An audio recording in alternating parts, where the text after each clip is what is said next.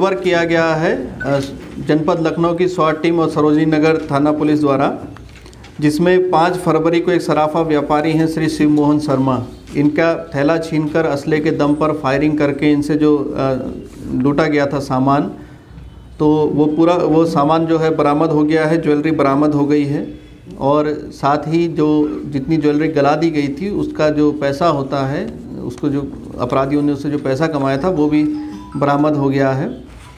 इसमें कुल जो बरामदगी है वो नगद साठ हज़ार रुपये सोना चांदी के आभूषण, तीन मोबाइल जो इन्होंने इस्तेमाल किए थे, एक बैग व दुकान की चाबी। घटना में प्रयुक्त जो इन्होंने एक अपाचे मोटरसाइकिल इस्तेमाल की थी, जिसका नंबर यू पी तैंतीस ए आर अट्ठासी उनासी है, ये इसको भी बरामद कर लिया गया है।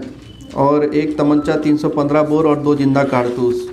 ये जो तीन अपराधी हैं, एक एक बार फिर से जो है लखनऊ पुलिस ने सीसीटीवी की मदद से और साथ ही बेहतरीन सर्वेलेंस का इस्तेमाल करके इस केस का अनावरण किया है। आज सीसीटीवी से इनके चेहरे जो हैं वो पहचाने गए, जिनको जगह जगह टीम भेजी गई थी विभिन्न जनपदों में और इनके पहचान की कोशिश की गई। नंबर प्लेट भी कुछ अलग तरह की थी, जिससे कई लोगों से, मुखबिरों से बात की गई। तो इसमें जब पता चला तो ये दो अपराधी जो हैं, अखिलेश पासी और रा, राकेश प्रताप सिंह ये दो इसमें गिरफ़्तार हुए। इसके अलावा एक अन्य व्यक्ति विजय कुमार ये भी इसमें गिरफ़्तार है। राकेश प्रताप अखिलेश पासी इन दोनों ने लूट की थी। इनका एक साथी जो मुंबई का है जो बछरावा में आभूषण गलाने का कार्य करता है वो अभी फरार है। और इसके अलावा दो रेकी करने वाले जो लोग हैं तीन हैं ये सुनील एक तो फरार है। इसके अलावा जो रेकी करने वाले हैं राजू अक्षय और मुन्ना खां।